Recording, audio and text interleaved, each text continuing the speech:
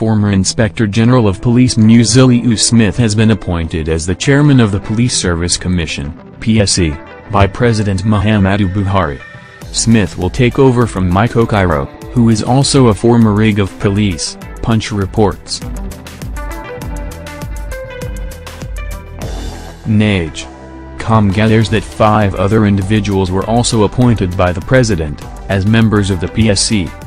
The president's letter, seeking legislative confirmation of the appointments, was read by Senate President Bukola Saraki. Recall that we previously reported that investigations revealed that Suleiman Abba, former Inspector General of Police, and Israel Janel, retired Deputy Inspector General of Police, were shortlisted for the position of Chairman, Police Service Commission, PSC.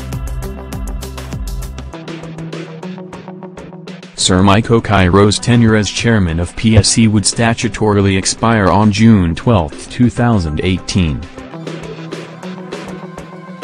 According to sources close to Okiro and the presidency, although Okiro was not willing to stay another five years as chairman of PSC, the presidency was not disposed to renewing his tenure.